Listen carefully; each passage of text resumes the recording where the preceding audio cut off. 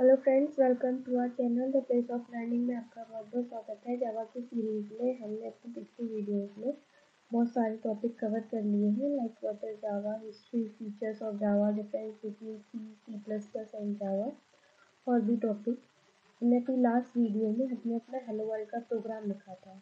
जिसके अंदर मैंने अपना हेलो वर्ल्ड प्रिंट करा, दिखाया था कंसोल पर ठीक है? उस कंसोल पे वो प्रोग्राम कैसे आया, कैसे इंटरनली वर्क किया, वो हम आज की वीडियो में देखेंगे कि हमारा प्रोग्राम कैसे कंपाइल होता है, कैसे रन होता है, ठीक है? तो मैंने अपनी पिछली वीडियो में देख देखा था कि मेरा जो पैकेज था, उसके अंदर मेरा असासी फोल्डर था, उस असासी फोल्डर के अंदर मैंने डबल टैप किया यू पे गए जावा क्लास पे गए क्लिक करके मैं यहाँ पे आ गई, जहाँ पे मुझे अपनी क्लास का नाम देना है। मैंने कोई भी नाम दे दिया और ओके दबा दूँगी तो मेरी क्लास ये बन जाएगी, ठीक है? ऐसे ही मैंने अपनी हेलो वर्ल्ड क्लास बनाई थी, जिसके अंदर मैंने अपना प्रोग्राम लिखा था हेलो वर्ल्ड ये हेलो वर्ल्ड का प्रोग्राम मैंने लिखा और ये मेरे सामने हेलो वर्ल्ड प्रिंट हो गया कर अभी इंटरनली वर्क कैसे हुआ, कैसे मेरे कंपाइलर ने मेरा system dot out println statement statement देखा, फिर ये हेलो वर्ल्ड कैसे प्रिंट किया इंटरनली वो हम देखते हैं आज की वीडियो में, ठीक है?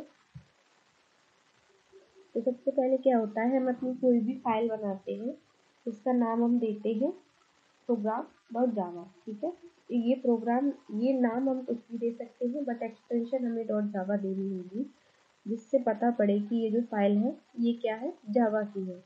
अगर मैं किसी और लैंग्वेज में अपनी फ़ाइल बना रही हूँ सी सी प्लस पाइथन तो मैं वो एक्सटेंशन दूँगी, ठीक है? अभी एक्सटेंशन देने के बाद मैं अपने प्रोग्राम को रन करूँगी। वैसे ही मेरा कंपाइलर चलेगा। वो कंपाइलर क्या करेगा? मेरे प्रोग्राम डॉट जावा फ़ाइल को डॉट क्लास फ़ाइल में कन्वर्ट कर देगा।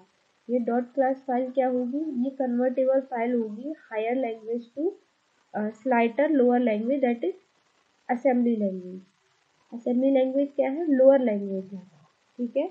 लोअर लैंग्वेज में कन्वर्ट करेगी। और ये लोअर लैंग्वेज जाएगी किसके पास? जेवीएम के पास। ठीक है? ये क्या है? एक वर्चुअल एनवायरनमेंट है जावा का, जिसके अंदर ये जाके किसमें कन्वर्ट होगी? बाइट कोड में। बाइट कोड मतलब बाइनरी फॉर्मेट में ज़ीरो वन के फॉर्मेट में कन्वर्ट होकर ये प्रोग्राम मेरा रन होकर मेरे कंसोल पे मेरा आउटपुट दिखा देगा। ठीक है? ये हो गया। इन अ शॉर्ट कैसे होता है? एक पूरा फ़ेज़ एक प्रोग्राम का स्टार्टिंग से एंड तक आउटपुट तक, ठीक है? उसके बाद हम देखते हैं कंपाइल टाइम क्या होता है, फिर हम देखेंगे कि रन टाइम क्या होता है, ठीक है? यही दो चीज़ें होती हैं एक प्रोग्राम की, कि कंपाइल कैसे होता है और रन कैसे होता है। सबसे पहले हम थ्योरी देखते हैं कि what is called compile time compile time is the time period when a program code is translated into low level code of machine code by a compiler or an interpreter, ठीक है? Compile time is the period of time from beginning to end of the process मतलब हो गया compile time एक ऐसा period है programme का, जब मेरा प्रोग्राम जो लिखा है मैंने मैंने जो कोड लिखा है, वो लो लैंग्वेज से मशीन कोड में कन्वर्ट होता है। ठीक है? किसी भी कंपाइलर या इंटरप्रेटर के द्वारा। लाइक मैंने अपना जावा प्रोग्राम लिखा, ये जावा प्रोग्राम मेरा क्या करेगा? बाइट कोड में कन्वर्ट होगा। मतलब असेंबली लैंग्वेज में कन्वर्ट होगा अपने कंपाइलर के द्वारा। फिर ये बाइट कोड मेरे जे में जाएगा। JVM इसको मशीन कोड में कन्वर्ट करेगा। मतलब ज़ीरो वन के फॉर्मेट में कन्वर्ट करेगा और ये CPU के पास जाके मेरा आउटपुट दिखा देगा मेरे कंसोल पे। सिंपल ये हो गया मेरा कंपाइल टाइम ठीक है? रन टाइम में क्या होता है?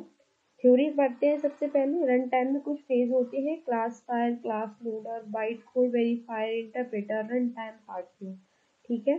थ्योरी देखते हैं। Class loaders are responsible for loading Java classes dynamically into the JVM during runtime. ठीक है? क्लास लोडर का क्या, काम क्या होता है रन टाइम के टाइम पे? कि ये डायनेमिकली जो हमारी फ़ाइल है कन्वर्टेबल उसको राइट कोड है, उसको जेवीएम में लोड करता है। इसीलिए इसका नाम क्या है? क्लास लोडर लाइक मेरी program dot class file program dot class file कौन सी? ये वाली फ़ाइल जब JVM में जाएगी तो जेवीएम के पास क्या है? क्लास लोडर है, जो कि क्या करेगा? इस प्रोग्राम डॉट क्लास फ़ाइल को डायनेमिकली जे में लोड करेगा, ठीक है?